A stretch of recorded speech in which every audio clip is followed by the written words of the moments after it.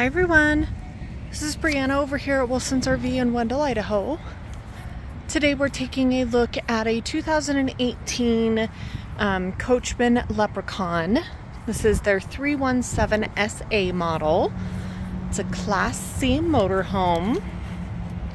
This motorhome is on the Ford E550, um, so it's got the V10, Triton V10 engine in it overall about 33 feet long. Got your electric awning on the door side there and two slides on this side. Overall, it's in great condition. The decals aren't peeling or sun faded. It's been very well maintained. It's got the cab in the front with the two doors for easy entry and exit during travel. And then, of course, it's got the main door on the side there. Let's go on in and take a look. So here we are right inside the main door of the 2018 Coachmen Leprechaun 317SA. So you can see you've got the bed above the cab there. Your dinette turns into a bed and the television um, hides away in those cupboards for traveling. Um, couch also turns into a bed. Lots and lots of storage throughout over here. Got your full three burner cooktop and stove. And then your microwave above.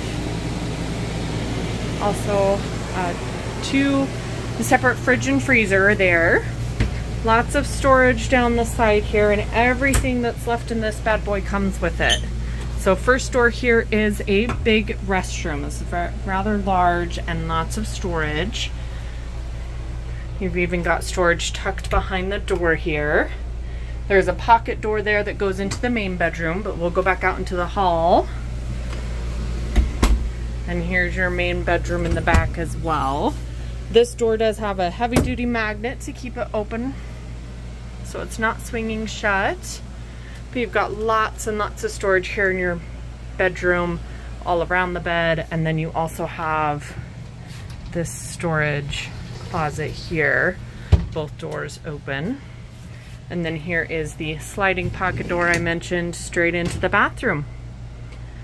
So there we have our 2018 Coachmen Leprechaun 317 SA. This is a great unit in great condition if you want to come on down to Wilson's RV in Wendell and take a look.